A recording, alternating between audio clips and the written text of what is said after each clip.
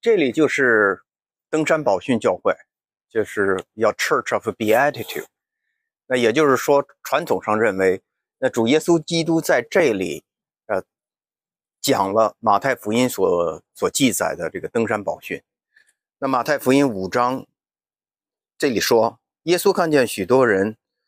就上了山，既坐下，门徒跟前来，他就开口教训他们说。虚心的人有福了，因为天国是他们的；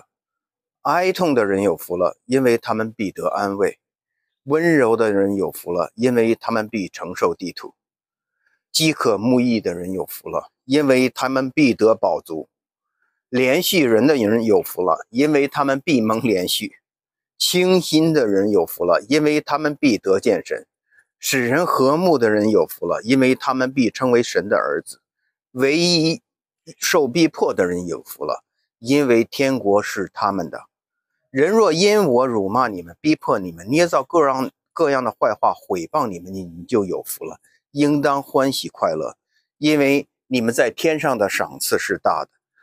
在你们以前的先知，人也这样逼迫他们。就是耶稣基督的教导，特别的告诉我们，跟世界所认为的好。所认为的一些标准完全的不一样，翻转了这个世界所认为的利益良善的方式，在教导了我们做盐做光，规范了基督徒的行为准则啊，包括律法，不要发怒，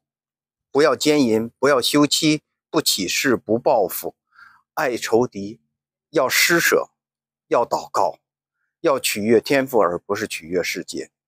不要忧虑。不要论断人，要遵行主的教导，有根有基。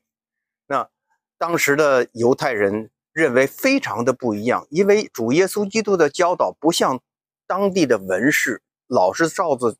照着什么典章书籍来念，而主耶稣的基督的教导带来了一种权柄，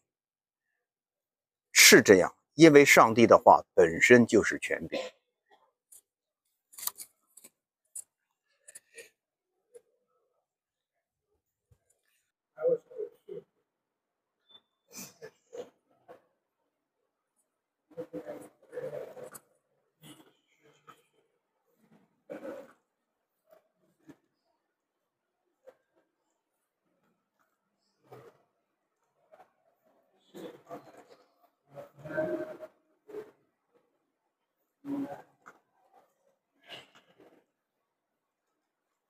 Mm-hmm.